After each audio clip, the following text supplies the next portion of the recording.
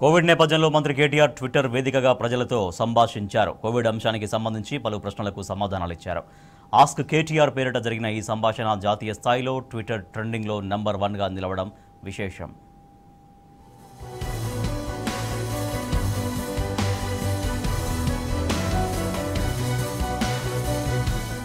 Covid నియంత్రణపై Telangana ప్రభుత్వం సీరియస్గా దృష్టి సారించింది. కరోనా కట్టడికి పకడ్బందీ చర్యలు తీసుకుంటోంది.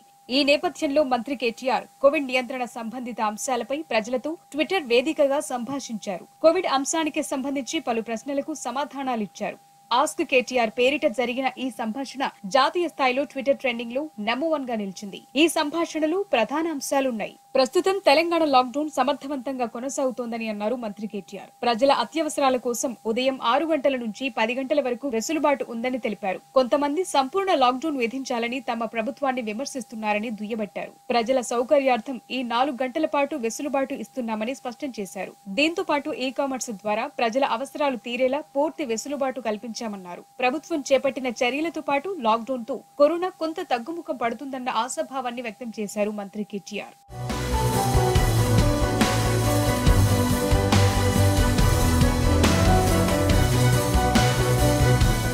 ఆక్సిజన్ సిలిండర్లు మరియు రెమిడిసివర్ వంటి మందుల సరఫరాను ప్రభుత్వమే ప్రత్యేక కౌంటర్లు ఏర్పాటు చేసి ప్రజలకు అందచేయాలన్న సూచనకు మంత్రి కేటీఆర్ స్పందించారు. ఆక్సిజన్ సరఫరా పూర్తిగా కేంద్ర ప్రభుత్వం ఆధీనంలో ఉందన్నారు. ఆక్సిజన్ సప్లై విషయంలో దేశం సవాళ్ళను ఎదుర్కొంటోందని అన్నారు. మరోవైపు రెమిడిసివర్ మందుల వినియోగంలో ప్రభుత్వం ఆడిట్ నిర్వహిస్తూ పర్యవేక్షిస్తుందన్నారు. అయితే కోవిడ్ సోకిన రోగులకు కుటుంబాల నుంచి ఈ మందు వినియోగానికి తమపైన తీవ్రమైన ఒత్తిడి ఉందని వైద్య వర్గాలు తెలిపిన విషయాన్ని మంత్రి ప్రస్తావించారు. మరోవైపు ఆక్సిజన్ రెమిడిసివర్ మందులను బ్లాక్ మార్కెట్లో అమ్ముతున్న అనేక మందిని ఇప్పటికే అరెస్టు చేసిన విషయాన్ని కేటీఆర్ తెలిపారు.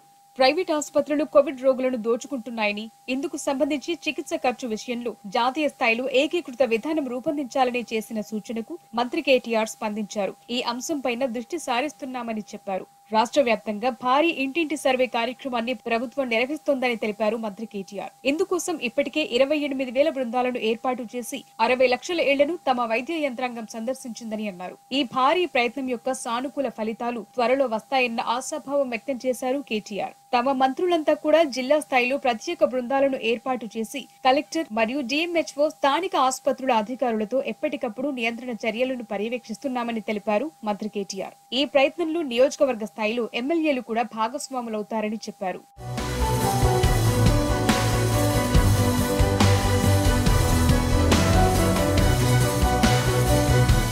కరోనా సోకిన సందర్భంగా మానసిక శారీరక ఆరోగ్యంపై అత్యంత ప్రభావం చూపిస్తుందని ఈ విషయంలో కోవిడ్ను ఎలా ఎదుర్కొన్నారని మంత్రి కేటీఆర్ను ఒకరు ప్రశ్నించారు. కోవిడ్ వచ్చిన వారికి ఏం టిప్స్ ఇస్తారని అడిగిన ప్రశ్నకు ఆయన సమాధానమిచ్చారు. సొంత వైద్యం పనికిరాదని కేవలం వైద్యులు నిపుణులు సూచించిన ప్రామాణిక పద్ధతుల్లోనే వైద్యం తీసుకోవాలన్నారు. మానసికంగా బలంగా ఉండాలన్న ఆయన కోవిడ్ రికవరీ తర్వాత ఎలా ఉండాలో ముందే ప్లాన్ చేసుకోవాలని సూచించారు. అసత్యాలను అర్ధసత్యాలను ప్రచారం చేసే సోషల్ మీడియా టీవీ ఛానల్స్ వంటి వాటికి దూరంగా ఉండాలన్నారు. ముఖ్యంగా వాట్సాప్ నిపుణుల సూచనలను ఏమాత్రం పరిగణలోకి తీసుకోవద్దన్నారు. వీలుంటే వ్యాయామం చేస్తే మంచిదన్నారు మంత్రి కేటీఆర్. తనకు కరోనా సోకినప్పుడు వరుసగా ఏడు రోజుల పాటు తక్కువ నుంచి అతి ఎక్కువ డిగ్రీల జ్వరం కొనసాగిందన్నారు కేటీఆర్. దాంతో పాటు ఊపిరితిత్తుల్లో కొంత ఇన్ఫెక్షన్ కూడా ఉందని చెప్పారు. తాను డయాబెటిక్ అయినందున బ్లడ్ షుగర్ మరియు హైపర్ టెన్షన్ నియంత్రణ కొంత సవాలుగా ఉండిందన్నారు. అయితే డాక్టర్ల సరైన సూచనలు సలహాలతో అధిగమించానన్నారు. ప్రస్తుతం కొంత బలహీనంగా అనిపిస్తుందని తెలిపారు. అయినప్పటికీ సాధారణ స్థితికి చేరుకున్నానని తన కోవిడ్ రికవరీ అనుభవాన్ని పంచుకున్నారు మంత్రి కేటీఆర్.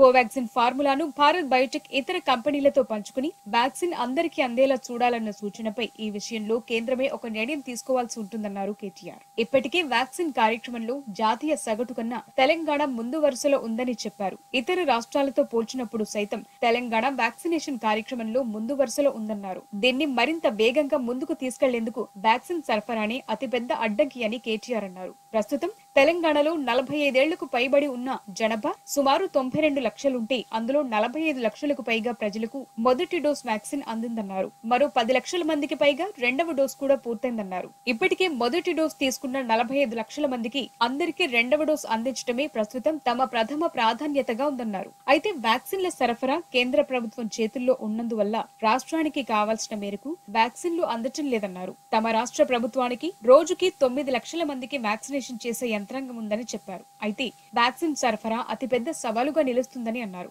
దీంతో పాటు వ్యాక్సిన్ తయారీదారులతోనూ రాష్ట్ర ప్రభుత్వం సమావేశం అవుతుందన్నారు ఇప్పటికే వ్యాక్సిన్ తయారు చేస్తున్న భారత్ బయోటెక్ సెరమ్ ఇన్స్టిట్యూట్ మరియు డాక్టర్ రెడ్డిస్ ల్యాబ్లతో మాట్లాడుతున్నామని చెప్పారు. రానున్న జూలై ఆగస్టు తొలి అర్థం నాటికి వ్యాక్సిన్ల సరఫరా తగినంత ఉండే అవకాశం ఉందన్న కేటీఆర్ అప్పటి వరకు వ్యాక్సినేషన్ కార్యక్రమం కొంత సవాలుతో కూడుకుంది అన్నారు.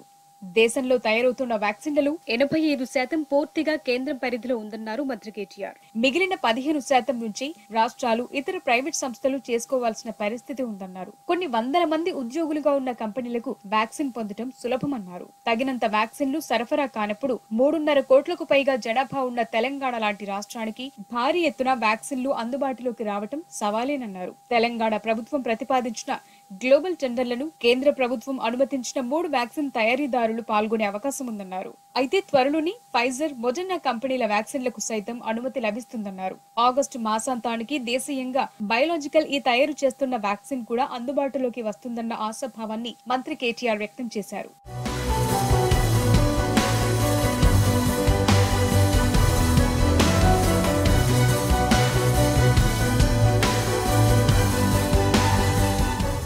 రాష్ట్ర ప్రభుత్వం కోవిడ్ నియంత్రణ కోసం చేస్తున్న ప్రయత్నాలను కొంతమంది దుష్ప్రచారం అసత్యాలతో బద్నం చేసేందుకు చేస్తున్న ప్రయత్నాలతో అయోమయానికి గురి కావద్దన్నారు మంత్రి కేటీఆర్. ఇవన్నీ రాజకీయ దురుద్దేశాలతో కూడినవే అని ఆయన చెప్పారు. ప్రస్తుతం ఉన్న కోవిడ్ సంక్షోభం మన రాష్ట్రంలో ఉన్న ఫార్మా ఇండస్ట్రీ జాతీయ ప్రాధాన్యతను తెలిపిందని అందరూ అనుకున్నారని ప్రస్తుత పరిస్థితుల్లో ఫార్మాసిటీ ప్రాజెక్ట్ అంతర్జాతీయ ప్రాధాన్యత కలిగిన ప్రాజెక్టుగా మారబోతోందని అన్నారు.